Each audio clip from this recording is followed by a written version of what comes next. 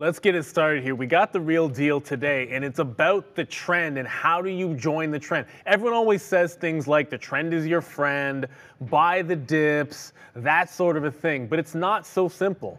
You can't just sit there and start a chart and say, oh, this is a buy trend. That's a sell trend. Oh, this is exactly where you should buy the dip. Just hang out on the bid at any price. And if the stock's going up, you just sit there get collected, and then make those profits. So what I wanted to go over is specifically how do you buy the dip? How do you short the pop? How do you join that trend? And it all starts with one thing. You can't actually join the trend if you can't identify what the trend is. And the most simple thing, and everyone always talks about this, is when do you see higher highs and, and, and, and higher lows? But you know what else you got to think about? Sometimes you just look at signs of a reversal in the short term. I'm going to point out Mara because the most extreme example of a trend is what happened in a lot of the crypto names recently. And so this is a good chart to go over because you have a stock which was in a clean downward trend. You can see it make a bottom. This is the key. It makes a nice consolidated bottom. And then right about in here, breaks the 50 period, breaks the 200 period moving average, and then suddenly you're starting to trend up. Now, if you can get that to the long side, great. I always think once you stop making lower highs, which is when you break this level, now you're off to the races. So you have this $14 level where it breaks out. To me, this is where you're starting a trend to the upside. What is the first thing you should look for? Can it hold the initial support where it broke out? Right at that $14 level. Okay, well, if you're buying the dip, pretty clean. You see it dip down in, it holds that level, you're buying out in front of previous resistance. That is the first thing you can look to. You have confluence with that. You've got the breakout price, you have the stock reversing trend, you've got a previous resistance. When it comes in, that is a level to work off of. And it even shows you a target. You've got 14 down here, you've got 16 out here, so you can be long that one about 50 cents worth of risk on a swing, maybe 70 tops, and then you've got the break going into the upside. So that's an easy one on the daily chart.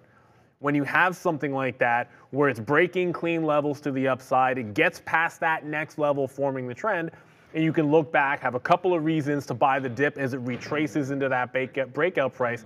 But when you start talking about a trend on the intraday, it's a bit of a different story because it's not always going to be that simple when you see a stock trending in one direction or the other. Let's look at the other direction in Mara when there was a clear massive sell-off the other day.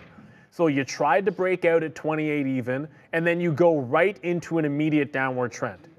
Now, you can sit there and say, oh, well, Mara's been fantastic. Look at that daily. Where are you buying the dip? No, as a day trader, this is now trending to the downside at the open. So what do you do when it's just falling, falling, falling? It's already down four, five dollars. You're talking about 15, 20% moves. I can't chase that, can you? Well, you go right back to the simple strategy. Before that fail, what's a level that actually works? Right in here, $24. It's 24 to that 28. So when 28 fails, be patient enough to wait for 24. You actually see it wick this bottom at 23. It bounces, and then right in here, where would you look to short the pop? If it shows weakness at a big level, that's the place to short the pop. If you can make something work in and around this mess here and get a better price level, congratulations. But the low hanging fruit is to simply wait till it makes a move into the big level at 24 and then work the short. The other thing you can do here is look at close prices as well.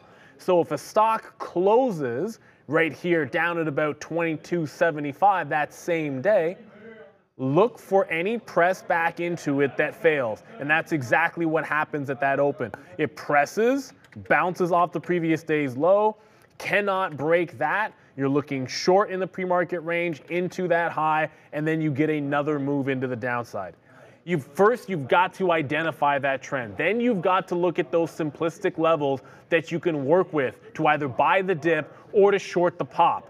I always love to see big key previous resistance on the daily where it broke out.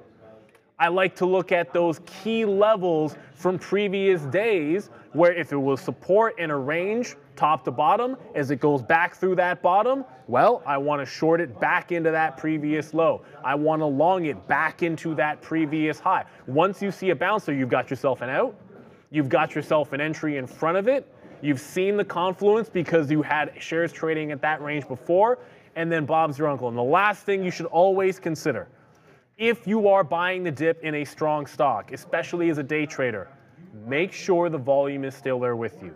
You do not want to be buying dips when the volume is gone. That's not what you're looking for. So the last thing you should always consider is it continuing to do good volume and allow that to be a bit of your guide as well. That's more specifically for day trading.